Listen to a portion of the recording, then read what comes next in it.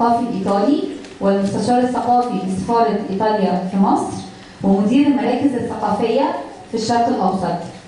آه، ومعانا برضو دكتور فرانسيس أمين آه، مرشد سياحي ومدرس اللغة الإيطالية بكلية السياحة والفنادق جامعة جنوب الوادي في طيبة. آه، برحب طبعا بكل السادة الحضور برحب طبعا بدكتور مختار بكر الأستاذ دكتور مختار بكر مستشار رئيس الجامعة برحب بكل السادة الحضور الأساتذة الطلاب. أهلا بيكم كلكم معانا النهاردة. آه، النهارده معانا ندوة في في إطار التعاون بين الكلية وبين المراكز الثقافية الأجنبية. إحنا بنحرص إن إحنا كل فترة يبقى في تعاون سواء كانت مع المراكز الثقافية العربية أو الأجنبية كتدعيم للتواصل بين الكلية وبين الأطراف المجتمعية. آه، زي ما قلت من شوية موضوع الندوة النهارده طبعا بيغطي آه، مرحلة فنية مهمة في عصر النهضة. فن الرينيسانس طبعا دي مرحلة فنية مهمة جدا. آه، يهمنا طبعا إن كلنا كطلبة يبقى عندنا خلفية عنها أو هي اوريدي محل دراسة لينا فنبقى إحنا نعرف معلومات عنها أكتر. آه، الفن الإيطالي طبعا من الفنون اللي كانت مصدر إلهام كبير جدا لكثير من الحضارات الفنية برضو. آه، وإن شاء الله كل فترة جاية هيبقى في تعاون هيبقى في ايفنت متواصل على مدار كل شهر في ايفنت بيقام إن شاء الله عندنا في بداية الترم الثاني بمجرد عودتنا يبقى في معرض فني لأحد الفنانين الايطاليين عندنا في الكلية زي ما بيقولوا إيه لتدعيم ال- ال- التواصل مع الجهات الخارجية والمراكز الثقافيه بصفه عامه. إن شاء الله تكون ندوه النهارده ندوة مفيدة ليكم كلكم وإن شاء الله تستمتعوا كلكم بيها وأهلا بيكم كلكم ونبتدي معانا بقى فعاليات الندوة بإذن الله.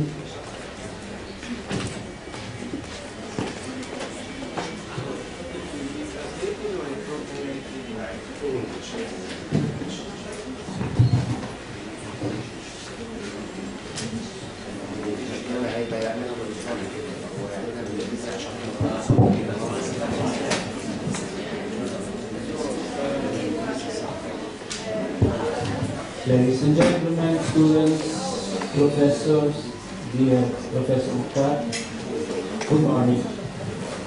Um, I am giving to you an idea about very complicated issues because art is the result of ideas and philosophy. So most of the things are very complicated. They have to do with psychology, psychoanalysis, and art because an artistic production is a result of humanity, and humanity comprises many components. So now we will try to go little by little. Please.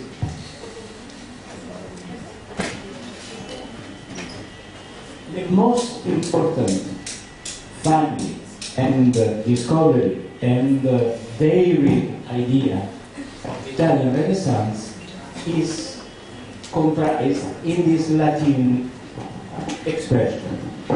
Is there anybody of you who knows what does it mean? Homo mensura. Anybody of you, please? What does it mean? Does anybody of you know Latin? No. So I translated into English. Man is the measurement of all things of the world. What does it mean? That God created the world at image and resemblance of man. And man is the most extraordinary product of divinity in the creation.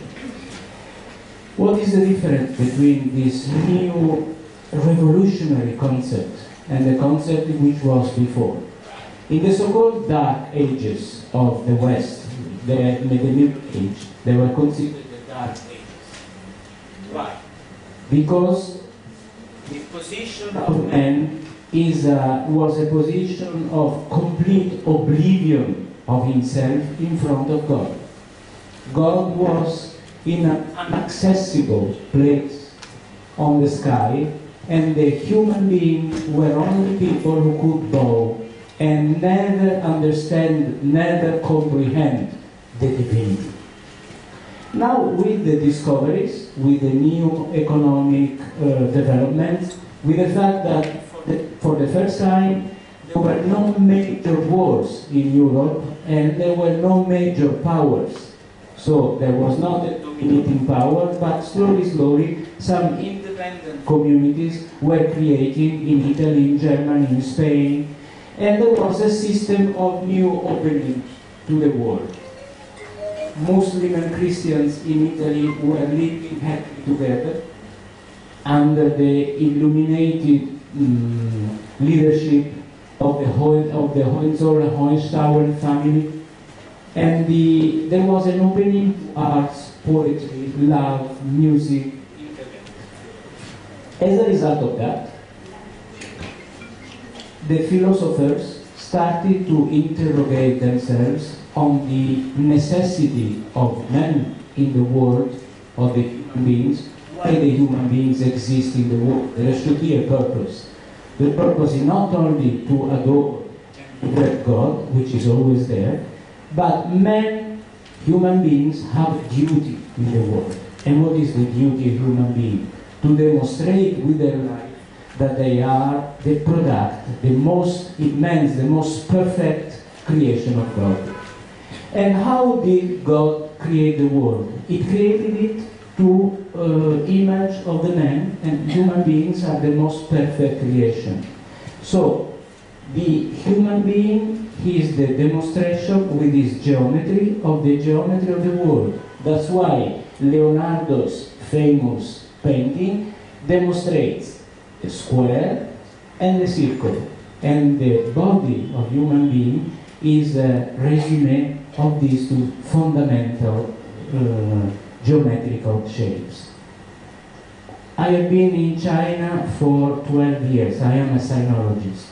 And uh, just to demonstrate to you that the tradition is one in the world, in different shapes. So you see that the uh, West conceives a square, and square you have a circle. In the East is a mirroring image. The sky is round, it includes the earth, which is square. Please. The circle is divinity, and the square is humanity.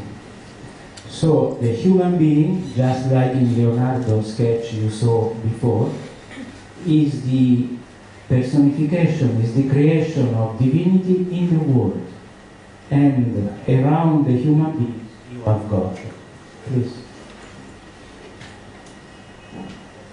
Of course, the um, image of Leonardo is a symbol, is a symbolic painting, a symbolic drawing. What is a symbol? Symbol is something visual, a formal representation which stands for something else. And Renaissance art is an open book. Of course, one should be very cultivated to read the book because the book is not written in sentences and phrases. It has to be interpreted through symbols. And uh, you are a student of arts. Uh, do you know who is this painter? He's a very famous abstract painter. The first one who used the chaos and the so-called brute inspiration to make drawings. Any, any, any of you know who it is? He's an American. He was making the so-called drippings, so it's uh, launching the paint over canvas. And he did, but not exactly him. The first one the so-called uh, unconscious drawings is Pollock. So this is a famous one of the uh, paintings by Pollock.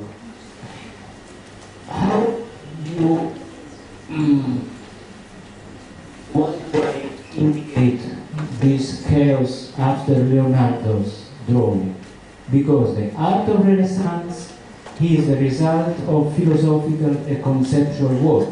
Where in the 20th century there has been a complete reversal of the creation, and instead of conceptual in the art of the 20th century, we make a predominance of instinct, instinctual, brute, without thinking. To see the big difference between Renaissance and the instinctual work of the 20th century. Please.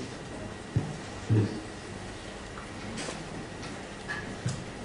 Now, of course, you know this very important painting from the Sistine Chapel in Vatican in Rome. What is the concept which Michelangelo thought before making this painting? The so-called hubris. Hubris is the arrogance and pretendence. So, human beings dare to make a difference between them and God, obtain knowledge. This is the tree of knowledge, the tree of good and evil. On this side, you have Adam and Eve living in uh, happiness without knowing, because they are still within the realm of God. And of course, the snake gives an apple, see the snakes around the um, the tree, gives the apple to Eve. Suddenly, they discover, Adam and Eve discover that they have made an image of God. And that they are changed from the heaven. And uh, the myth of Iblis demonstrates that human beings now discover that they can be an image of God on earth, but this comes with extreme fatigue of doing something or realizing something on earth. The fatigue of being a human being. After Renaissance, we have a series of. Uh, you can, yeah, okay.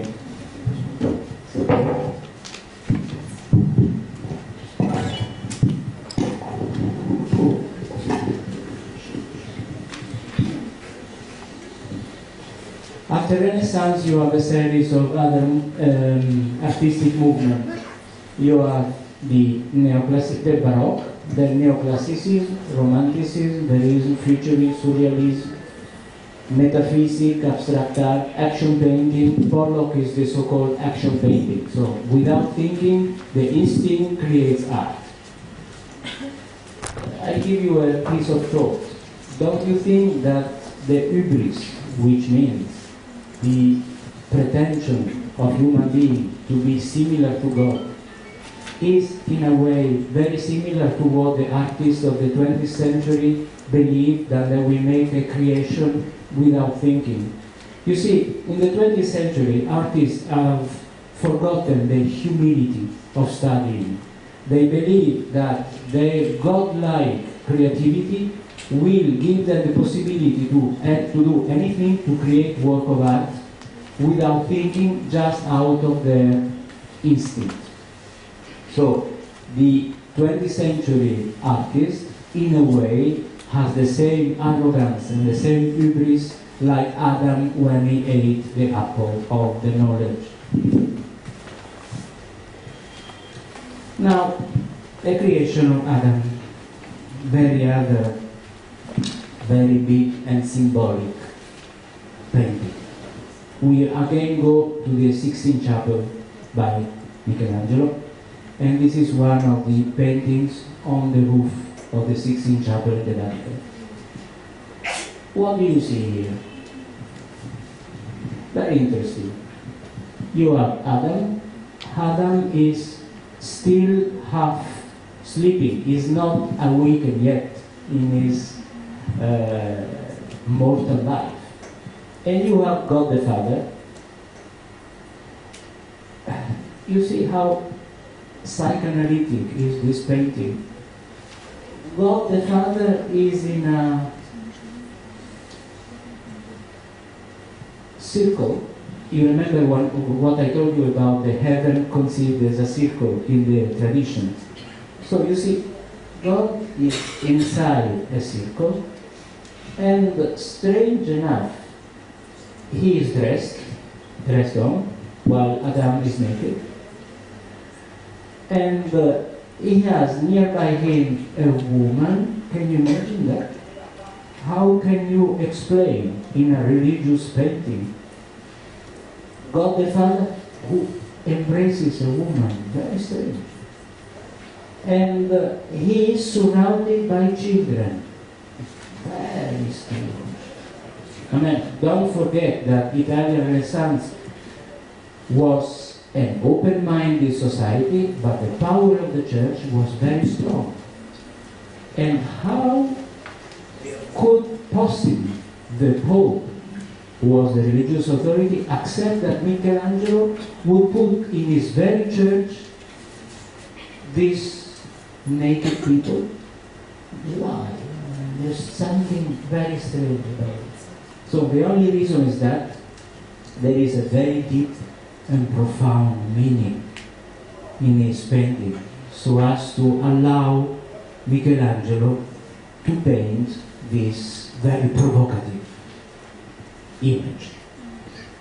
So, God the Father is also, in a way, the Father. So the Father is Father of children. And so, this painting indicates the act of creation like an act which is in the sky but very much on earth. So you make a new human being, you need a man and a woman. And uh, in the circle, which is a little bit, if you allow me, little bit like the womb of a pregnant lady, you see? And it is red even. So it means that God the Father is giving birth to a new human being. And the new human being is very much the result of the divinity of the Father. Now, I give you another piece of thought and reflection. The energy, the strength of this painting. See the muscle of God the Father, like this, very strong. And uh, by comparison, you see the sickness even because Adam is not awakened yet. He's still half sleeping. And so the hand of Adam is in is like a flower which is opening. So until the flower is open, it's like this, and it goes. And Adam is awakening not only to physical life, but to recognition that he is the Son of God. You see how many things you have in a painting which need a reflection, and in the painting of Renaissance, nothing is casual. Everything has been attentively studied, and Michelangelo was even not painting out of his own. Each great painter of uh, that period should have behind him a philosopher who would tell him that this is to be there because it means something else. And so this explains why this is an open book and the book had to be approved by the Pope before painting it. And so the Pope approved this revolutionary painting because he knew that people who can understand will understand the profound meaning behind it. And this goes with another big Italian intellectual creation, which is Dante, Dante Alighieri's Divine Comedy. Do you know this work by Dante? So what is the most important meaning of the book? The book says that the man has to go, human beings have to go through a period of confusion, then they have to follow the light of God, and after the light of God, they can realize that the life on earth is a preparation to eternal life. That's why Dante finds the salvation after he saw the light and he went through the hell, purgatory, and heaven. Very important. Dante composed the Divine Comedy after having read the works of the Holy Prophet Muhammad. Very important. And this is the comparison and the demonstration that in Italy at that time culture was a happy mixture of all the religions. You see how important it is? And the Divine Comedy is for us, the Westerners, a kind of mirror of Al-Miraj. Very important. So, anyway, I made this big, big story to tell you that um, Dante indicated in the Divine Comedy that the duty of human beings is not to live like animals, but the duty is to study and to realize that we have a mission to accomplish on earth.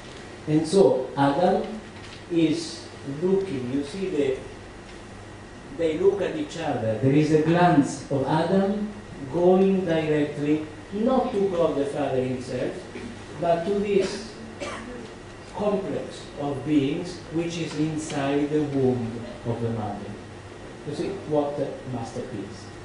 Please. Now we had the painting, now we have one of the masterpieces of Michelangelo. Do you know how old was Michelangelo when he started the Pietà? Do you know that? Huh? The student?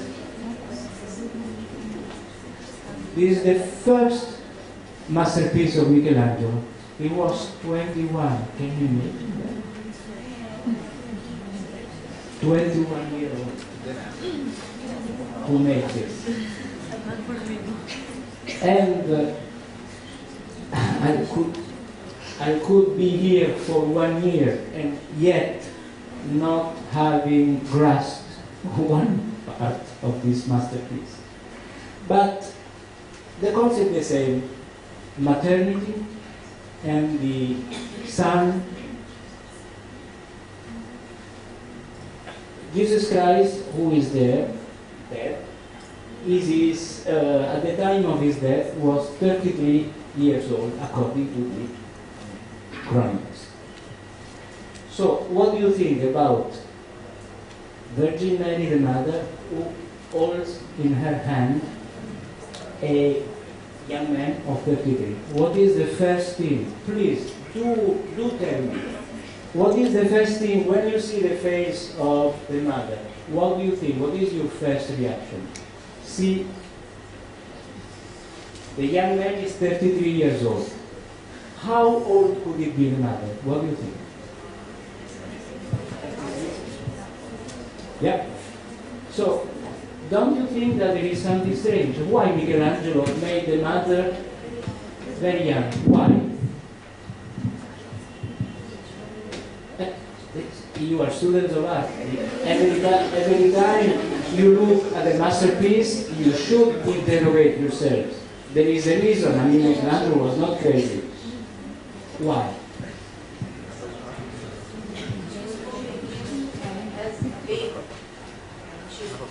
Usually, the mother doesn't hold her baby, her child when he's old but now again she's holding him this way, so she is younger. The feeling, the, the way she carries him. Like a baby. Yes. And so, why? Uh, you see, we, we, come, we come here to one of the concepts of Christian religion, that according to Christian religion, Jesus was dead and he resurrected. So, like the professor correctly said, she is even not holding the body of Jesus Christ. She is holding the soul which is going to be resurrected again, like a new baby. Very, very good observation. Then, what about the age of uh, the mother? Uh, she is 18, 18, 19, 20. Because she is not the mother of Jesus. She is the universal mother.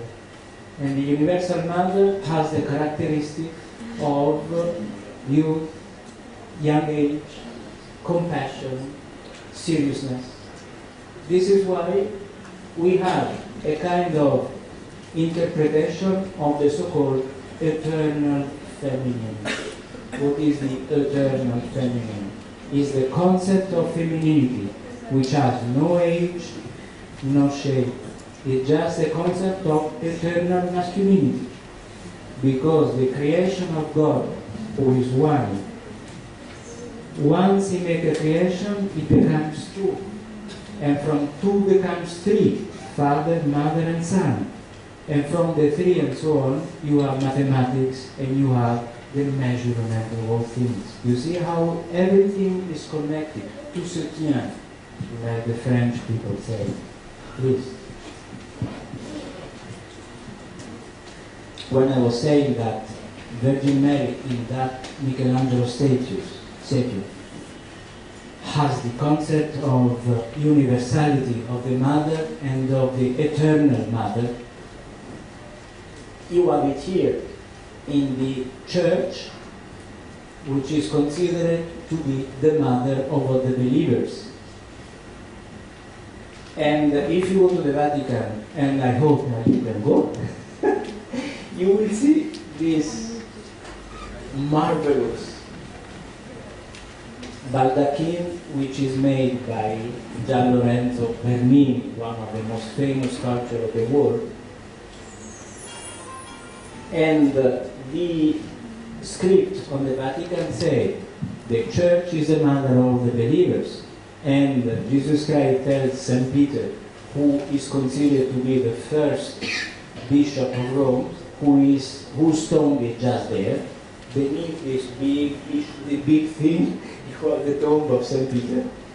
And Jesus tells St. Peter, Tu es Petrus, et superam Petram edificabo ecclesiam. Petrus in, in uh, Latin means stone. So you are the stone, and you will be the stone over which I will build the church. This is why you are the bronze baldachin, but the plinth, the bases of the baldachin are in stone, because over that stone the church is constructed. Please. Now, to tell you some curiosity about Michelangelo and psychoanalysis of art.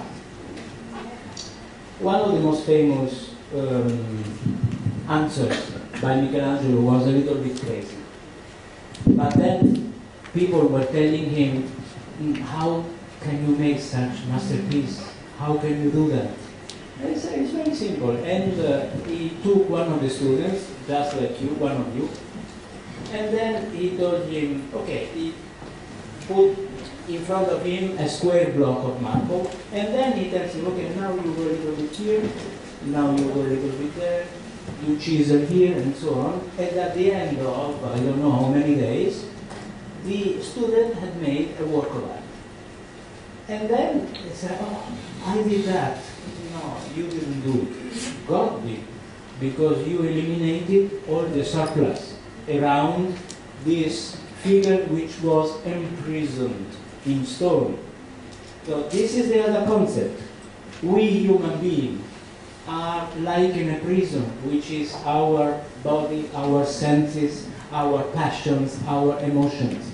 So our duty on earth is to eliminate all these things and to make free the God within us. So Michelangelo at the end of his life was making very quick, very quick statues because he had a kind of uh, he was in a hurry to do as much as he could before he could die. And uh, at the end of his life, the statues are like impressionistic. I mean, not polished, not completely finished.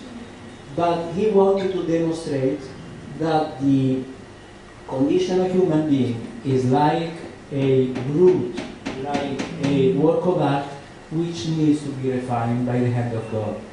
And uh, uh, he made a whole series of prisoners just to explain to you the concept that we are prisoners of our human body and we should liberate ourselves and to go to God. Please. Michelangelo in the Last Judgment, which is again in the Sistine Chapel, depicted himself out of his skin. He wanted to demonstrate that at the end of his life, he had reached the ultimate goal of human being, which is go out of his skin and liberate the soul which is in it. And you see, this San Bartolomeus holds a skin with the resemblance of Michelangelo. So this is the portrait of him. This is the meaning between, behind this big work of art.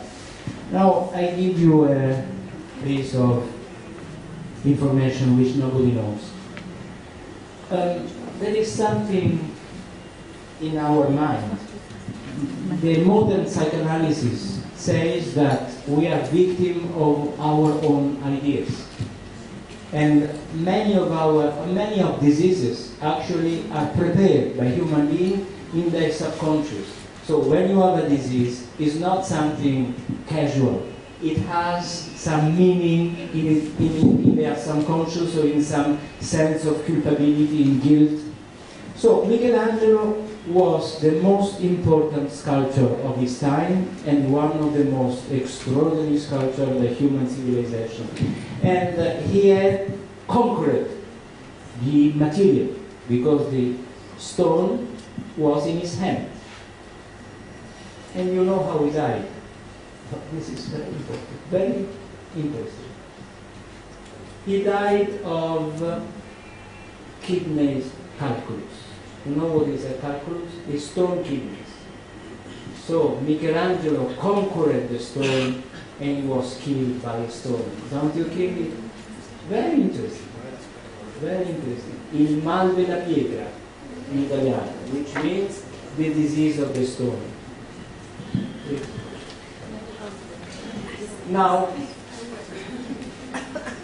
again, I would need 10 years to explain to you what is behind this masterpiece.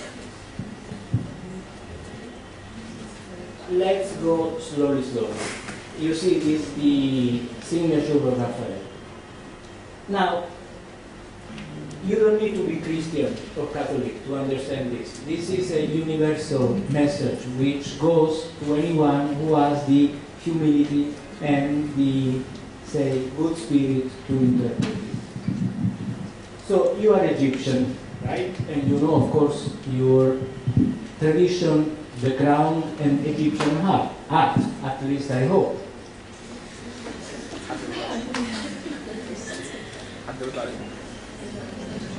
What is the Egyptian goddess in pharaonic Egypt, which can be make a comparison with the Virgin Mary?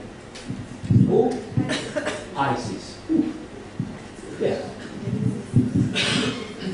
So, what is the characteristic of Isis? How would it is mm, the depiction of Isis? What does it? What it show?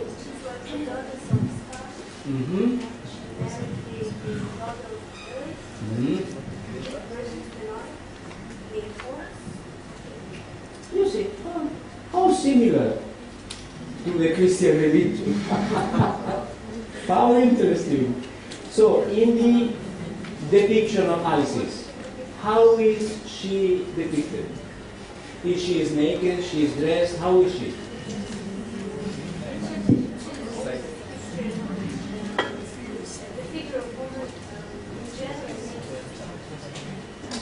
Yeah, what about Isis? This is interesting. Especially Isis. I give you, I give you another matter of thought.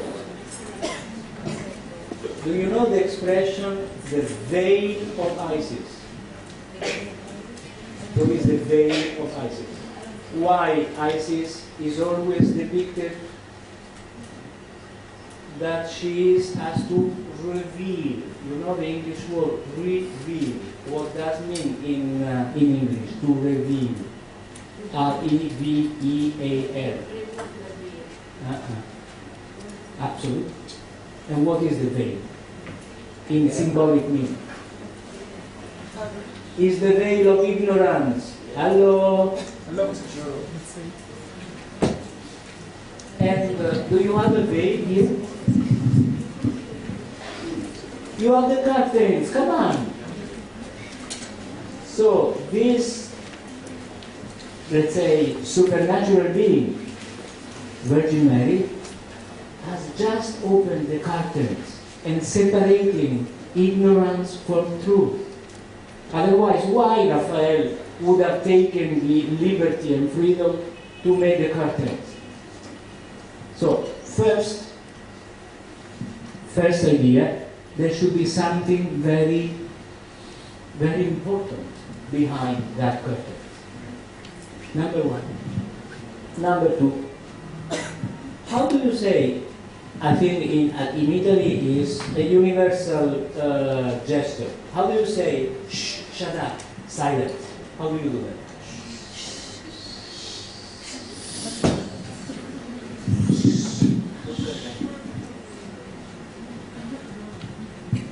So there is something very, very mysterious in this painting. Even one of the most famous icons of the art, the little angel, has the finger means this painting concerns a mystery which has to be revealed.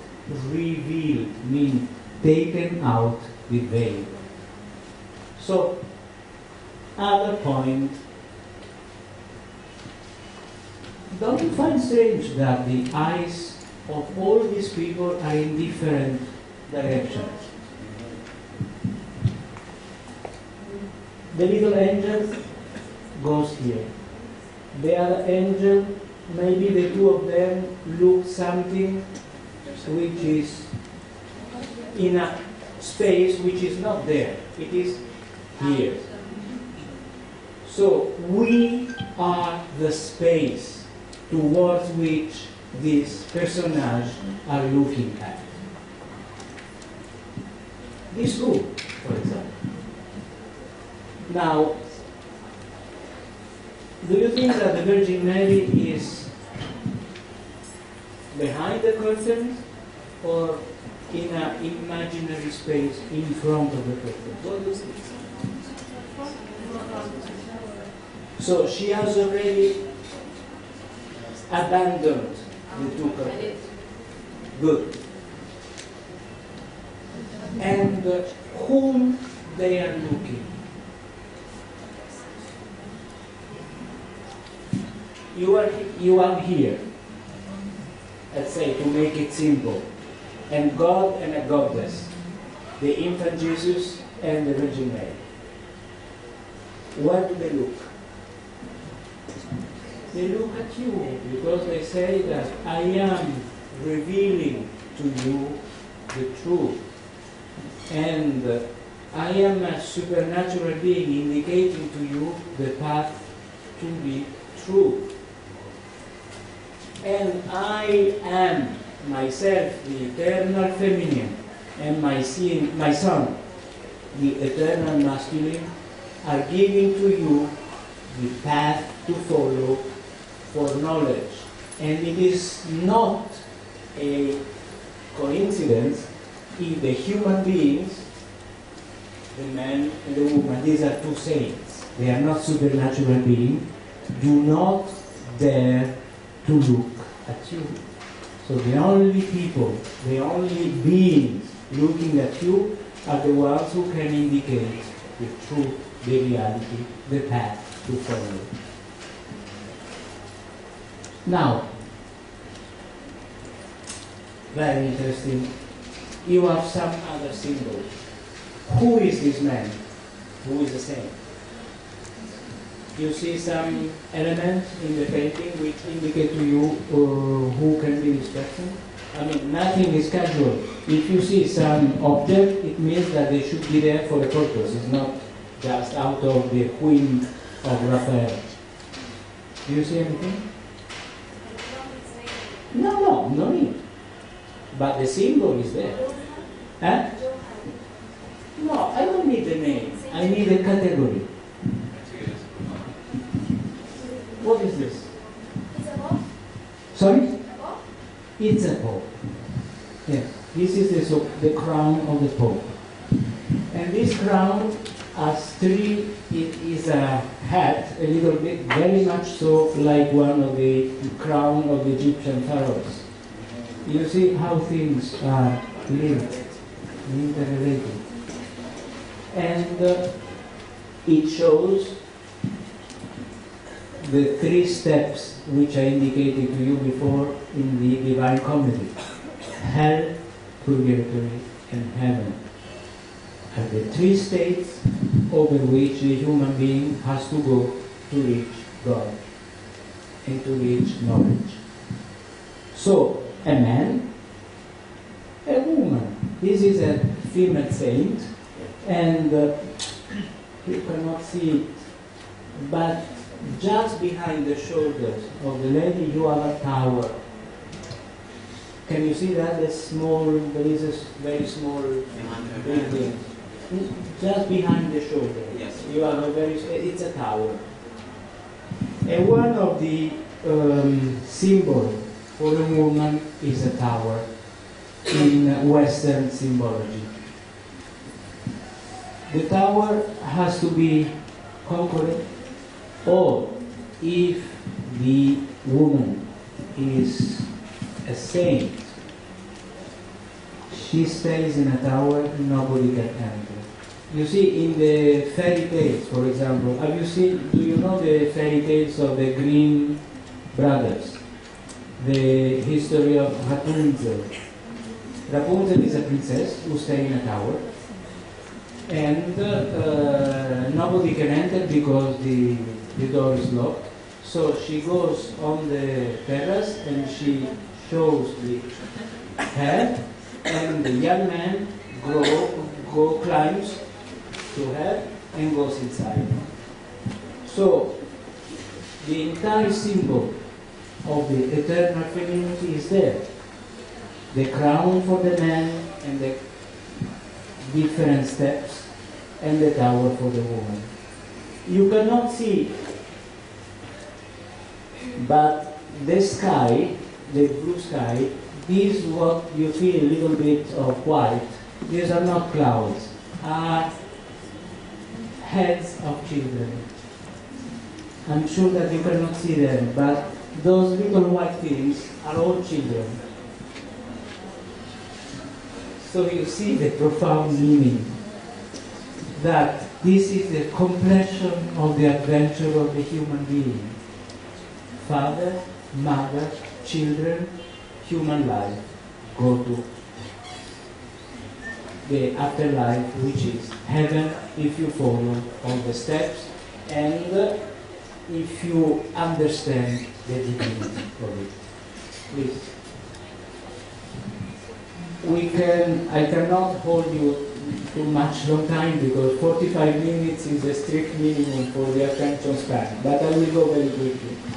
Um, in before I was giving to you a heavenly space. Now I give you a space on earth. This is another famous painting by Raphael, The Wedding of the Holy Virgin, and I just show to you that the expression of divinity on earth is this perfection of a building which are square and round, just like I was telling you, heaven and earth. Can you tell me something of um, the psychological meaning? For example, what is the center of the composition? Very important.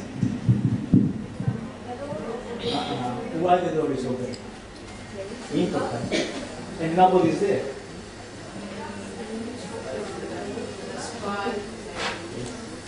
It's the door to heaven, to afterlife. And you see, you have the Trinity, the holy number three man, woman, and father, who is actually the priest. But it's a triangle, triangle and the triangle directed towards the infinity. Also here, I, I hope that I am giving to you some ideas. And on your own, you can go on internet and look for these paintings and reflect upon it. Please. Now, of course, we go to this masterpiece. And just as I was telling you the infinity reaching God, this is the Last Supper by Leonardo. And the same concept, you see that Jesus Christ, the supernatural being, the divinity, is framed into the infinite. And I can tell you many other things, but let's go on. Uh, can you go a little bit the previous one? You see, this was made by Leonardo during the Renaissance, and the Renaissance people had a philosophical thought behind, and everything was, how can I say, um, included in a philosophical idea. Over here, you see all the 12 apostles. Jesus Christ had 12 followers, the so-called 12 apostles. And they are in group of three, three, three, three, three. And Jesus Christ is the 13th being. This is a very superstitious meaning. That's why in most of the Western country, the number 13 is considered either unlucky or lucky, but better not to touch it. yeah. Why so? Because Jesus Christ was the 13th being during the Last Supper, and the day after he would be killed. So uh, Italians are very superstitious. So no, in Naples, the number 13 is considered lucky, but in many other places it's considered unlucky. That's why in the United States, very often in uh, the elevators, you don't have the 13th floor. You are 12 and 12 bis.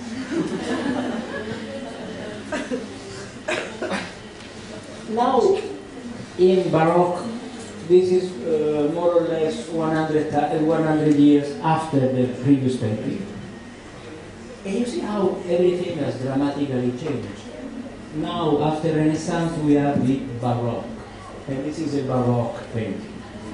And uh, the attention is shifted from the depiction of universal truth to day-to-day life and uh, uh, exterior aspect, beauty, mannerism.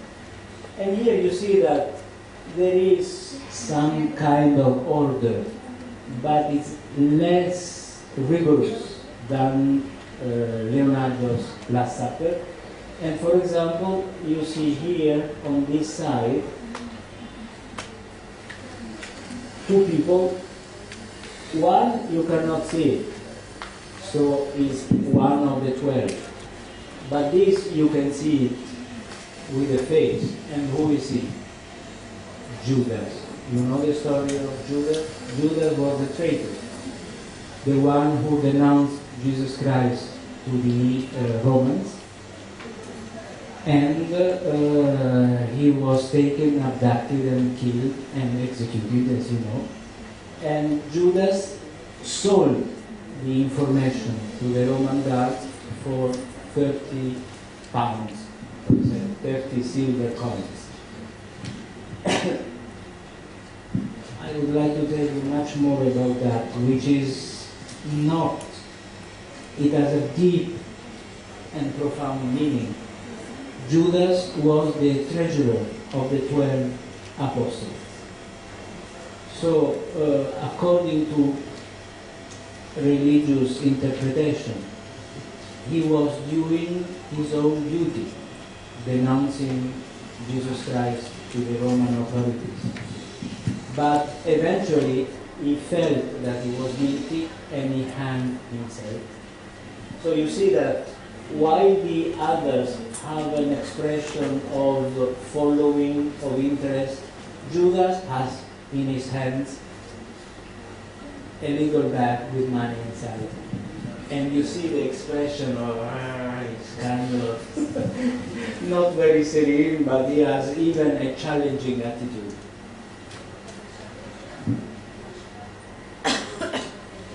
Luca Signorelli is another Italian painter of the Renaissance. I was just showing to you the different way to show the Virgin Mary, the Mother, and Jesus dead. Please go on. I will go quite quickly. You have here another um, illustration, very famous one of the screen, in which you have also the number three. You see, it proceeds in three, three, one, and you know who is this boy? Is never. He's the Duke of Florence, Lawrence the Magnificent, who commissioned the painting, and he wanted himself uh, depicted as a young and good-looking man. All these are the Renaissance art showing the image of eternal masculine to eternal feminine. This is also a ceiling, a fresco with a ceiling imagining an imaginary heaven, and it was just on top of the bed, so the person sleeping would have, even during the sleep, the idea that the duty of human beings is always have the mind to the sky.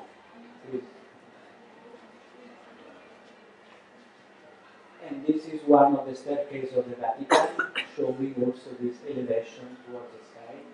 This.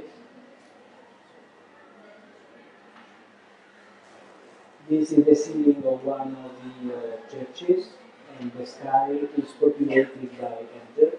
This.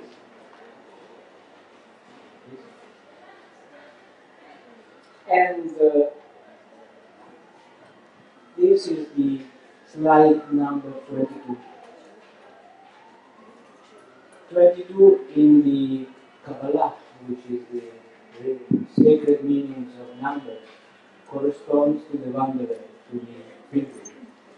And so I hope that through my conference, I have been accompanying you to a religious and spiritual quest, and I hope that my conference will give you the spirit and the curiosity to know more, just like in this biblical uh, personage, Tobias was accompanied in his wanderings by an angel. I don't pretend to be an angel, but I'm just giving to you some food for thought. Now, I am dedicating this conference to your academic institution, to the professor, to you students. I'm not asking anything. I'm just asking if you can give me some feedback through my Twitter. Twitter is very important, and believe me, it's much better than Facebook. Your fa- Facebook, you have, I have a Facebook page, you can look at it.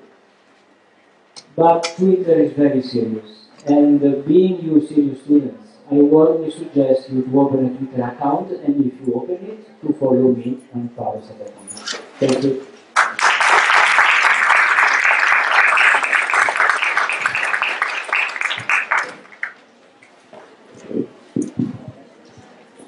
Uh, actually, I would like to. Uh, my name is Dr. Bakr, actually. I'm the Chancellor of the President of the University, and I'm an engineer.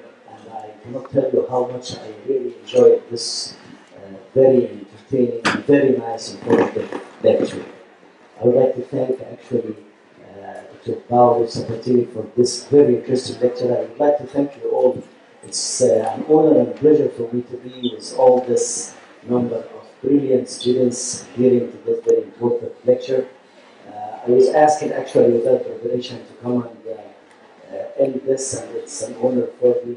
Thank you very, very much. I will make sure to just take the address to write on the Twitter, you know, because it's really very important to understand that this world is, is, is, is a very small world. No matter how we think, it's vast, and we really need to get together. And getting together is to try to understand how others think and also try to relate things. And, and one of the things I learned from this uh, very entertaining and very interesting and very informative lecture is that there is no difference.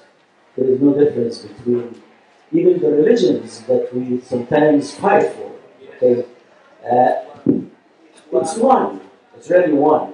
And I believe that we were human beings, we were much better and much safe started even thinking, okay, to think more about our differences.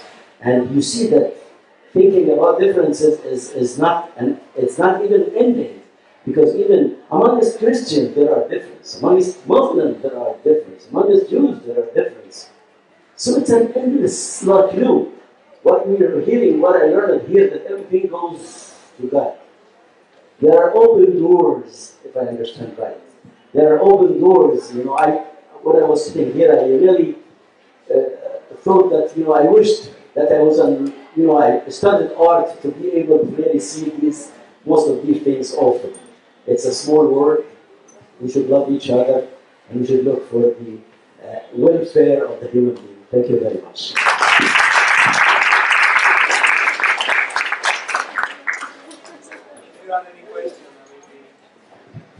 يا جماعة عنده سؤال استفسار آه، حابين نسأل في أي حاجة من شفناها النهاردة؟ آه. I don't have any pretension to have the truth. I am just a follower of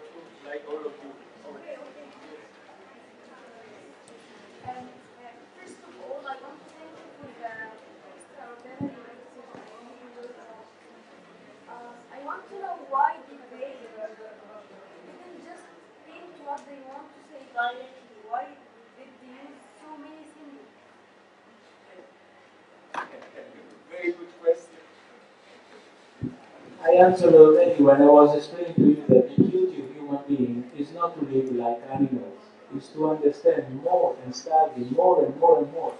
And the more complicated you have, the more um, effort one should have to understand. The truth is, as Professor Mokhtar was saying, the truth is one, of course. But human beings are many. So our path to the truth is full of study and complication and uh, necessity to go through a lot of questions and answers. And these are a lot of questions and answers which each one has to ask and to answer out of himself. That's why it is so complicated. You are very right. But if something was very simple, nobody would take any attention, right? This is the prison of human being, that we have to go through complication to reach the simplicity. And it was simple, it would be understood once, and that's it. Uh, give you- I have um, I have read somewhere that uh, Michelangelo was found skins from the, the divine stone instead of uh, the skins from the Bible in the Sistina Caverna. Yes, In his, yes, in his work in Sistina Caverna. Is that right? Look, um, I think that the philosophers who were designing the concepts were taken mainly from the Bible, mainly. But the Divine Comedy in itself is a masterpiece of uh, Dante was a very attentive man to all the cultures. So the Divine Comedy is, if I can say, much more revolutionary, and it gets ideas from other religions such as the uh, Muslim, uh, Muslim tradition. In my opinion, it's much more on Bible than um, Divine Comedy. Divine Comedy is a concept, whereas the Bible is a description, accurate description. It has a lot of um, very um, ugly skins of uh, hell and uh, beautiful skins of heaven. That's what I, I really Yeah, I am giving to you another piece of thought. I mean that Bible didn't describe hell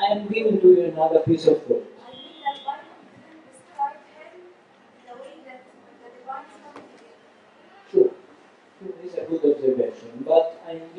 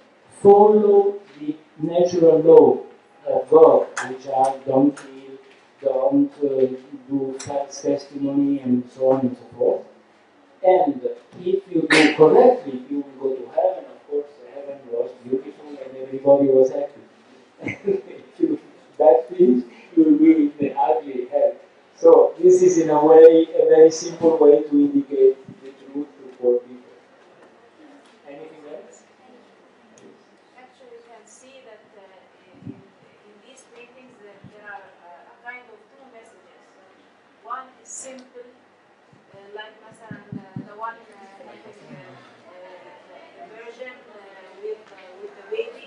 Uh, the line she's coming out with the line. This is the, the direct message. If you think more, you can find many, many, uh, many hidden symbols. And also there is something that um, these paintings shows uh, that, um, like uh, what you said, that all the religions are uh, are directing us to the same thing. Um, يعني think in these paintings you should think to understand. And even in the Quran, it's written many times. أفلا يتفكرون to think. So it's it's unity. What do you think that Dante has found this expression? There is even a commentary that it is very, very, very similar to the Quran with some pieces of the divine. Believe it.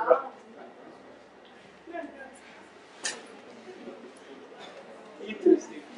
So even Christians, they don't understand that when they are reading the divine comedy, they're reading some surahs. So this shows to you how stupid a human being is to quarrel for nothing which does not exist. This is politics, it's not religion. Anything else? It-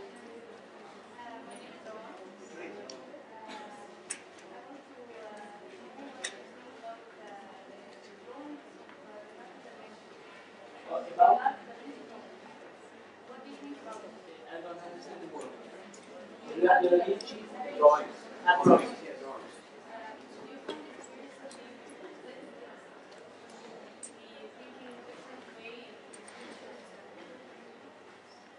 Now, um, interesting.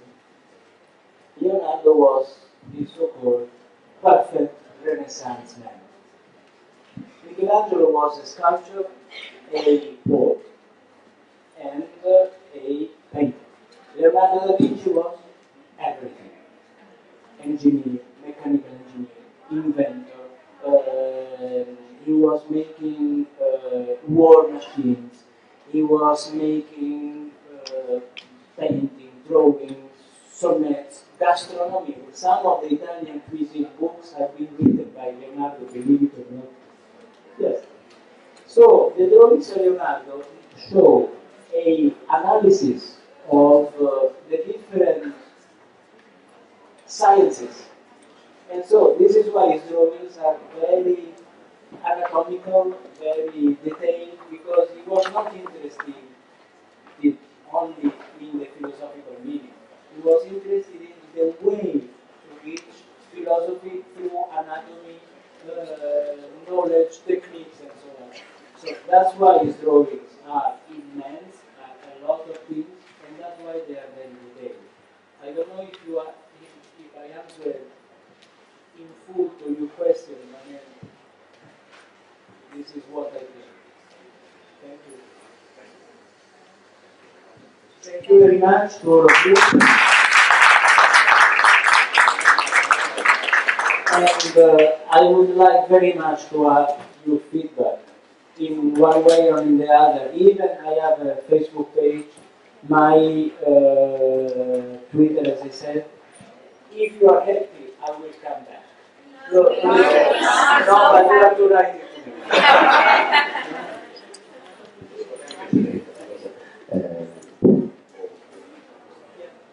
هو بس آه، كلمتين صغيرين.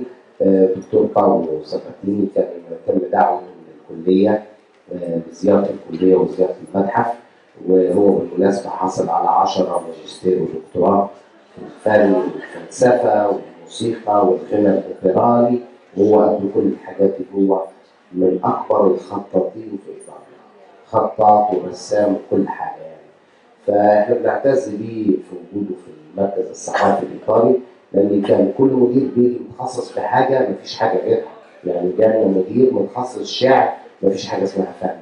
كل المركز كل نشاطه بيكون على الشعر آه، ب- بقالنا حوالي سنتين مع الدكتور باولو انسيكلوبيديا والعلوم المختلفة من الفوتوغرافيا للرسم للفن للخط للشعر للغنى لكل شيء. بصراحة آه، آه، إحنا سعداء بالتعاون مع كلية فنون. طبعا من سنين الدكتور مختار وسيادة العميد واساتذتنا في الكلية والدكتور بلال والدكتور ميسون آه، بيحاولوا دايما يكون في نوع من التعاون مع المراكز الثقافية وبنطلب من الدكتور باولو وفي حضوركم إن إحنا خدنا بعض الكتب بس إحنا عايزين لسه مجموعات كتيرة من الكتب عشان نغذي ال- ال- المكتبة بتاعت الكلية وبنرحب بكل أنواع التعاون مع آه، المركز الثقافي. Eh, penso che loro sanno già che l'istituto eh, abbia dato dei libri, ma penso che aspettano ancora altri libri. if you write to me and you uh, put your uh, email address, I will insert you in our mailing list so you will know all the activities we are making. You are very welcome. And uh, I think with the academy we will organize some exhibitions. Yeah, and uh, now one word about this newspaper. This is a newspaper which I am publishing in Italian language once a month in the, uh, as an addendum to the Egyptian newspaper Le Progrès Egyptien in French. And uh, um, this is the last issue. And some of the articles have been written by the students of the Ain Shams University who study them.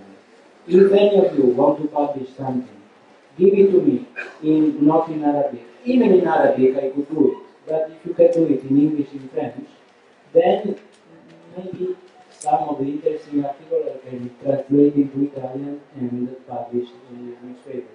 The newspaper is going all through Egypt, is in all the airlines, Egyptian Egyptian uh, and it goes to Italy, to the Academy of Egypt in Rome, to the Egyptian Cultural Center in Rome, and to the uh, senators, the parliament, the senate. I mean, this is a way to to be known in Italy. So this is the last issue you have it, and I have some of the previous issues here, not so many. I leave it there for.